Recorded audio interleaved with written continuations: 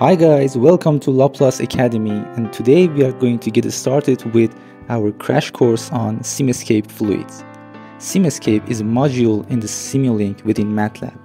It is devoted to simulating electrical, mechanical or hydraulic systems. In our first episode, we are going to get familiar with different libraries of Simscape and simulate a very simple hydraulic circuit. So let's go. First, after opening the MATLAB software, I have to go to Simulink. I can click on this button or I can type Simulink. Then I create a blank model. Now I go to library browser. Okay, and here I need to find Simscape. In this course, we are going to focus on the foundation library and the fluids library. That's all we are going to need. For today, I, am going to explain to you what are these different modules their foundation library. The first one is electrical, which, mm, as you can probably guess, it is devoted to electrical circuits and systems. The second one is gas. For example, if you want to model dry air, you need this one. But if you have moist air, you need this one. For example, imagine you are going to simulate a ventilation system or some air conditioner. You need moist air, of course.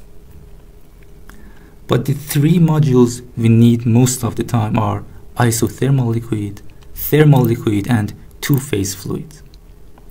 If your system has any kind of phase change, for example, imagine you have a condenser or an evaporator in which the liquid is going to convert into vapor or the gas phase is going to convert into liquid, you must go to two-phase fluids.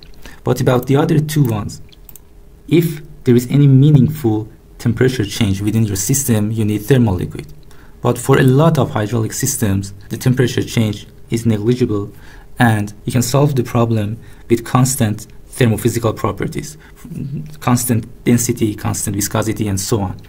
That is when you, you're going to need isothermal liquid. The energy equations are not going to be solved for isothermal liquid. Now as the first simulation, I want to make it as simple as possible. I go to isothermal liquid and under the elements, I can see that there are some options here, like a flow resistance, a local restriction, which you can consider it as a valve or an orifice. You can have a pipe or a reservoir. My first model is going to be a pump which sends fluid from a low pressure reservoir into a higher pressure reservoir. So I need two reservoirs the first one is low pressure and the second one is going to be high pressure.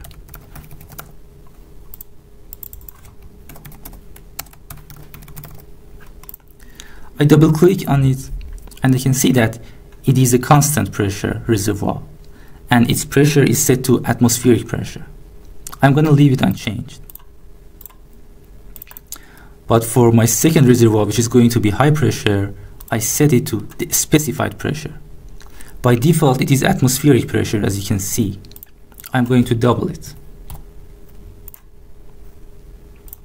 So now I have my low pressure and high pressure reservoirs. Then I go to the sources and I add a flow rate source, which is basically a pump. I set it as a constant volumetric flow rate pump, which is going to transfer 0.2 meter cube per second. I rename it to pump. Then all I need to do is connecting these ports. So basically I have a pump that takes the fluid from low pressure reservoir into a high pressure reservoir. But I cannot run the model yet because in any hydraulic systems you need two blocks. One of them is the solver configuration block which is basically some settings for your solver and the other one is the fluid properties since the Simulink has to know what is the, the fluid which is going to be transported from this reservoir into this reservoir. So I go to the utilities and add an isothermal liquid properties. If I double click on it and go to the description, I can see that the default liquid is water. So I leave the settings unchanged. And the second block I need, as I said, is a solver configuration block. I don't need to change any of its settings so now I run my model and I can see it run perfectly with no errors but right now it is meaningless because we don't know if it is solved correctly and what are the numbers what is, what is the pressure of any of these points or for example what is the differential pressure that this pump has created instinctively you can guess that the differential pressure that this pump has created is the difference of the pressure of high pressure and low pressure reservoirs. But did the Simulink solve it correctly? Let's figure out. I go to the sensors library and Here I have a pressure sensor. This pressure sensor basically displays the difference between this port and this port. PA minus PB. So since this port is high pressure and this one is low pressure, I need to rotate my sensor and connect it like this. So it is going to display the difference between A and B in pressure. I need a display tab to display the output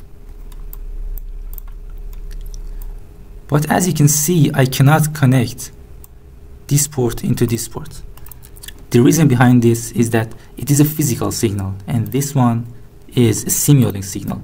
I cannot connect them directly unless I add a converter. I add a PS Simulink converter. PS stands for physical signal. I rotate it and now I can connect all of them. I run my model and as you can see the differential pressure provided by the pump is exactly the difference between the low pressure and high pressure reservoirs. I set the reservoir pressures in megapascals but the value I have right here is in pascals. How can I change it to megapascals?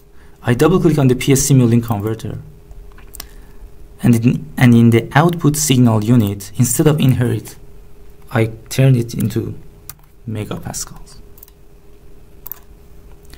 Now I run the model again and I can see now it is in megapascals. I can double click on the display block and change the numeric display format to long. Now it is better. You see it was so easy to make this model. Just to show that all of these steps is the same for thermal liquid I'm going to repeat the process again one by one. So here we go. I go under the thermal liquid library and in the elements I look for reservoir. Here I need two reservoirs again. The first one is in atmospheric pressure. You can see that you can set the reservoir temperature right here because it is a thermal liquid system. But right now I'm going to leave it unchanged. For the second reservoir, I change its pressure to twice the atmospheric pressure. Then I need a pump, so I go to sources and add a flow rate source. I set it as a constant volumetric flow rate source with 0.2 cubic meter per second.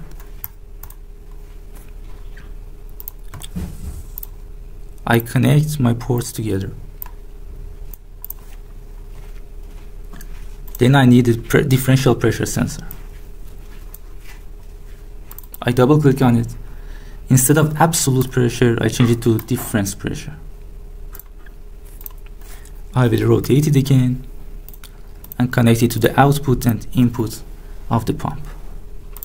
As I said, I need a PS Simulink converter and a display block.